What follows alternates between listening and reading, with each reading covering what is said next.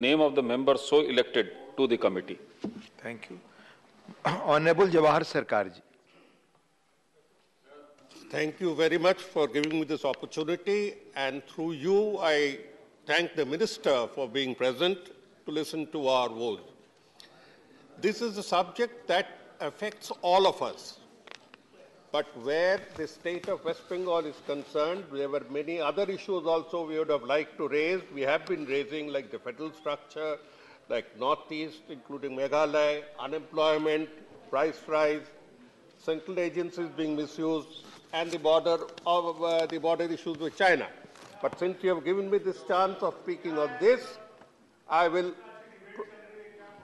Please, Let me speak. Please please please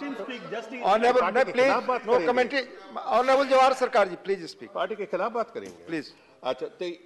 Special issue of climate change effects this coastal of India the most As you know, the immediate effect is the rise in sea levels. One of the most immediate effect is the rise in sea levels, and we have been hearing of projections of apocalypse for the last 20 years, 25 years. And the way we are proceeding, much of it might come to be true. We see the effects of it in the Sundarbans. The Sundarban is a very special area which is the world's uh, most, uh, uh, apart from being a world environmental site, a world heritage site, it is one of the great examples of how nature controls uh, the sea.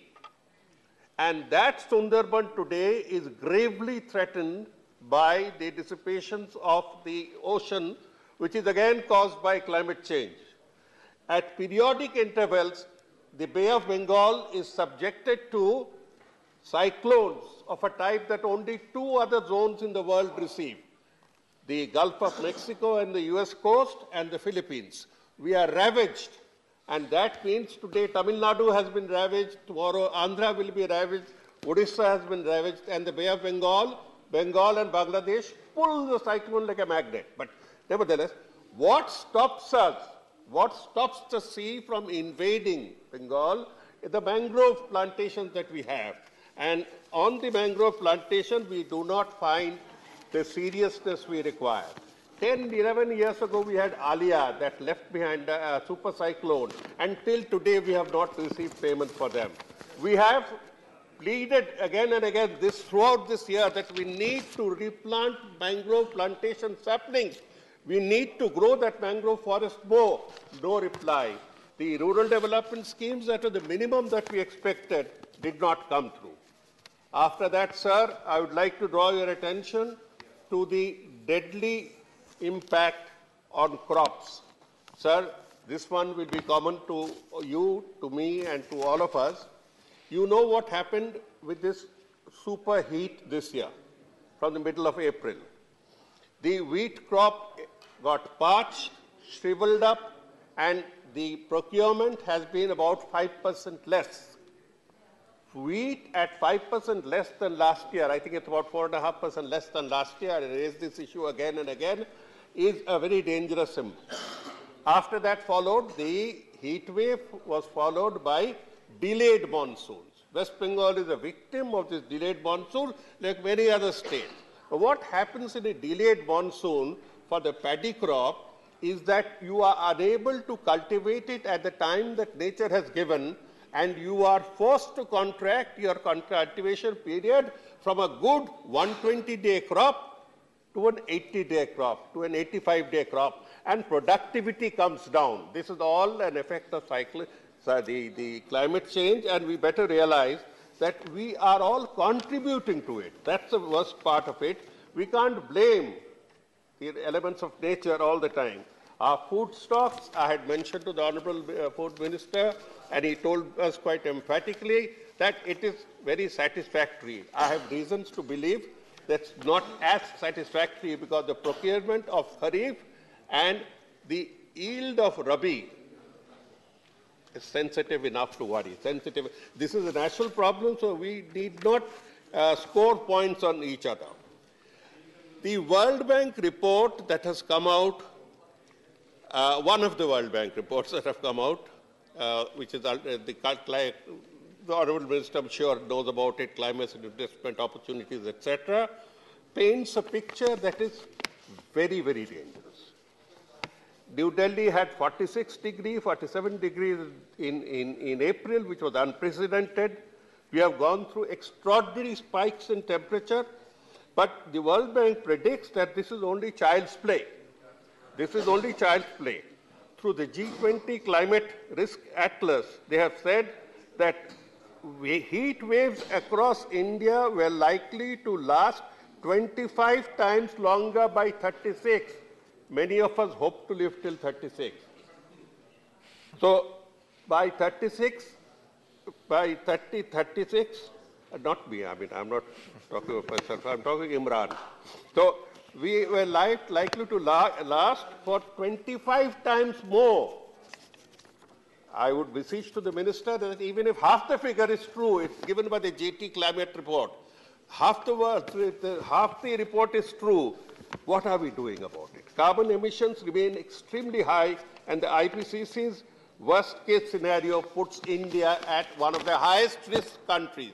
We know all about it. We know all about it.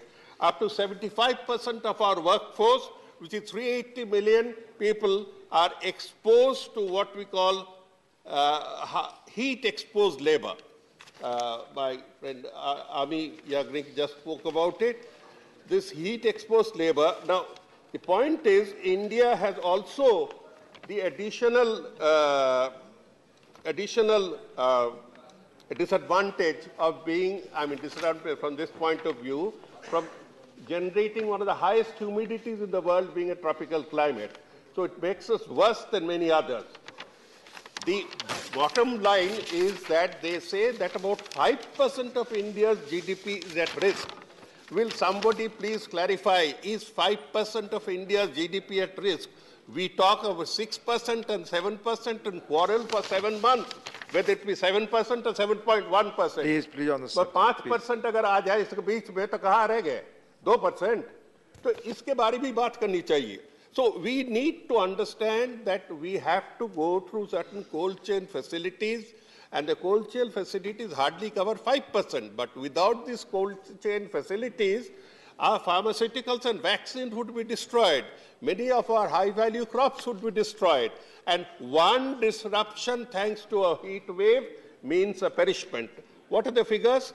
20% we have lost. They said that in COVID 19, India lost approximately 20% of temperature sensitive medical products, and 25% of the vaccines were destroyed due to broken cold chain. So these are, we need, I am, pay, I am putting forward this picture, it's known very well by the minister, but the response is what we see. Now I'm coming to the, uh, that part of it.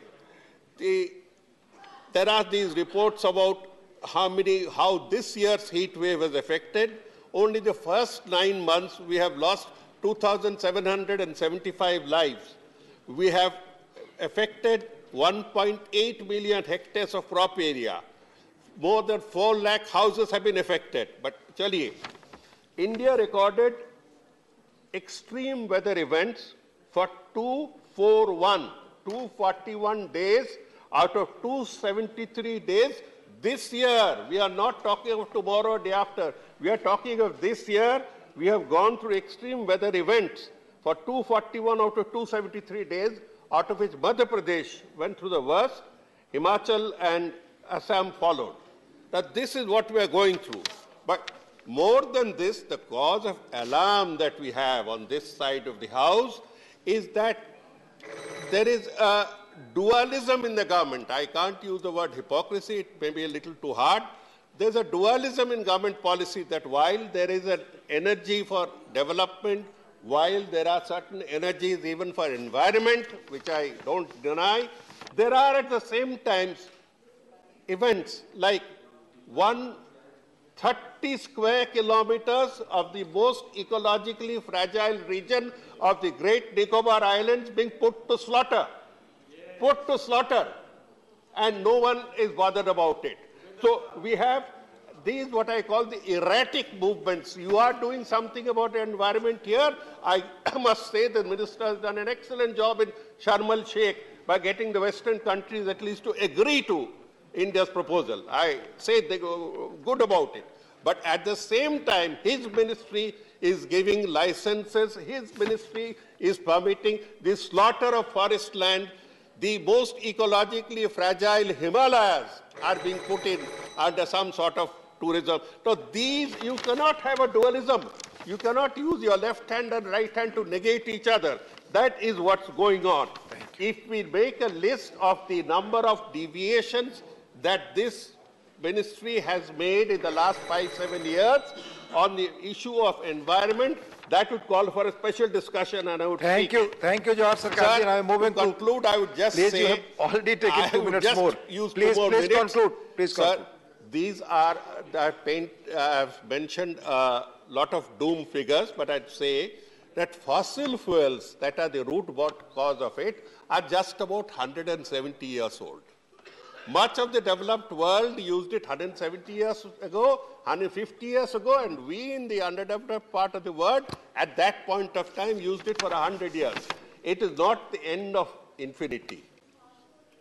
This, we are inviting the next ice age.